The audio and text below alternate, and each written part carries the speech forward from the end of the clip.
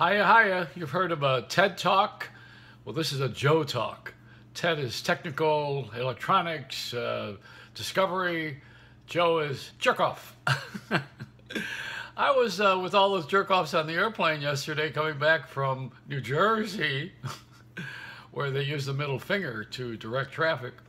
I was very uh, surprised. I mean, I had a really good seat on, on JetBlue. I sat next to somebody who had a dog. A woman had a dog, and and another person, you know, on the other side squeezing me. But it's uh, that I I like that part. You know, you got to pay for that. Is there a happy ending?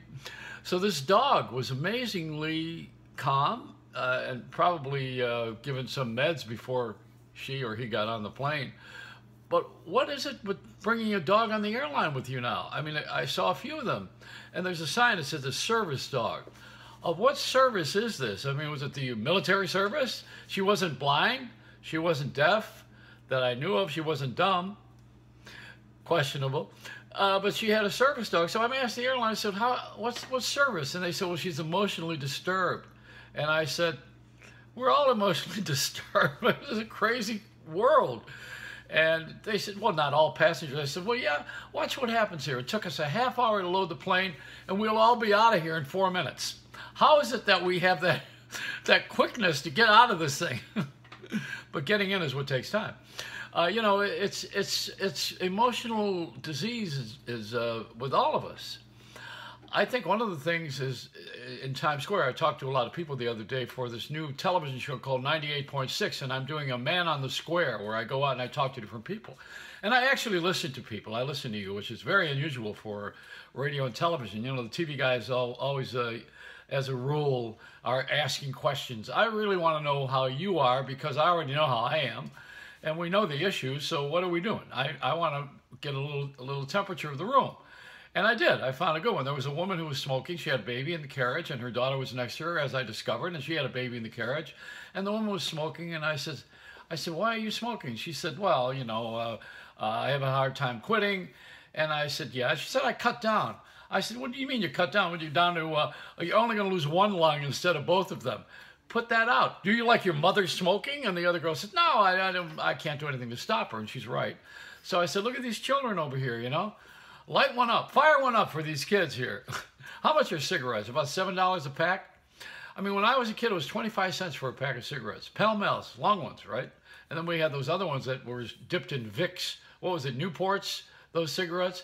See, that, that American Tobacco Company and all, all the other ones that are major brands, they have now gotten into the smokeless cigarette business. So when you go into the 7-Eleven, you see the smokeless cigarette stands over there.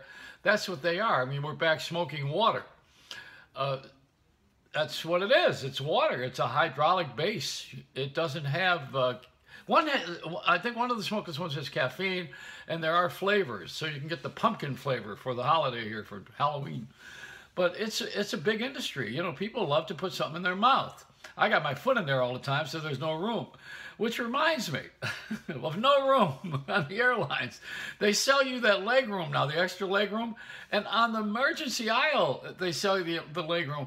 If we crash that plane, jeez, I mean, come on. But I have an extra leg room and a job to perform to get out of there with every, and help everybody else out. I think that's what that thing is when you sign up for it. It's screwy. I, I, I, you know, I, I, I have the last satisfied customer on United Airlines. Here he is, right here. He's my guest today. This is it.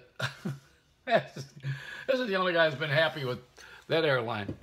And United, U.S., what is it? U.S. Air, their last flight is today. They are uh, become American Airlines, so they got rid of U.S. Air. It used to be Useless Air, we called it. Before that, it was Mohawk and Allegheny. Agony Airlines, we call it. And they're from North Carolina, which is where the Kitty Hawk is, you know, the first flight, the Wright brothers. So uh, they, well, the Wright brothers, they had it right, but Allegheny and United and, U, and US Air and JetBlue have it wrong. They got the wrong brothers. Now, what was I going to give a statistic here today? I, I, I just saw this. This is pretty interesting.